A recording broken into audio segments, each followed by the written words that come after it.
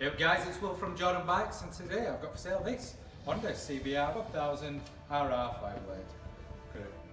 Oh yes, Black Beauty itself. So, a couple of cheeky extras on this one. Got the Gilles uh, levers there from Honda Racing. Some LED indicators around, so on this. Seat cowl. However, we'll give you some also some facts and figures. It's a 2016 on a 16 plate. It's done 3,252 miles. Really nice is this. Turn it on so you can see also the speedos. Hmm, can we see it boot up? You want to see it boot up? Yeah, yeah, no worries. Boom. Okay, Give it a quick tinkle.